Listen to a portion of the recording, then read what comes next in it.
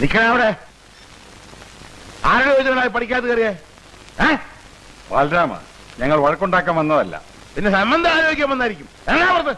സഹായം ചോദിച്ചു വരുന്നവരെ അഞ്ഞൂറാം വരെ ആട്ടി പുറത്താക്കൂലെന്നാ കേട്ടിട്ടുള്ളത്. സഹായം? വേണ്ട. കയറ്റിവിടെ.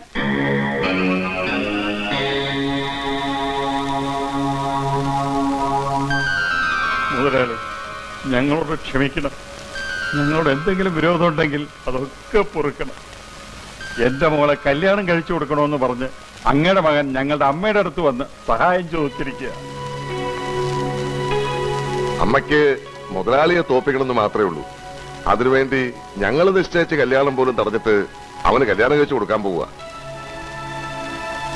എന്നാലും ഞങ്ങൾ നിശ്ചയിച്ച കല്യാണം തന്നെ നടത്തണമെന്നാ ഞങ്ങൾക്ക്.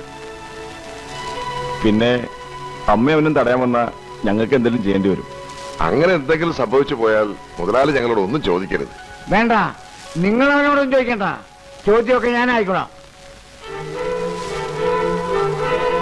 നിങ്ങൾക്ക് ആ കല്യാണം നടത്തി കിട്ടിയാ പോരെ.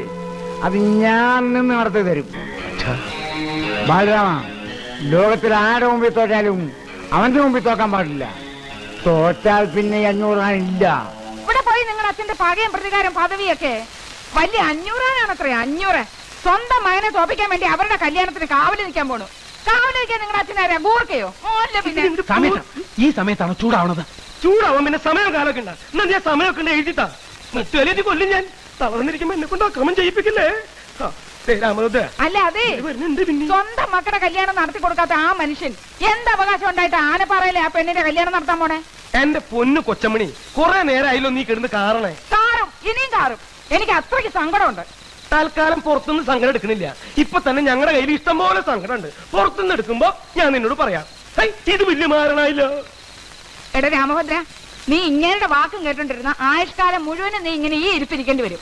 എടാ നമുക്ക് പോണോടാ. അച്ഛനല്ല ഏത് കൊലകൊമ്പം വന്നാലും നമുക്ക് പോയി ആ കല്യാണം മുടക്കണം. നീ ആ പെണ്ണിനെ കെട്ടണം. ഇതാരാണ് ഈ നേരത്ത്? അച്ഛനോ മറ്റോ വന്നു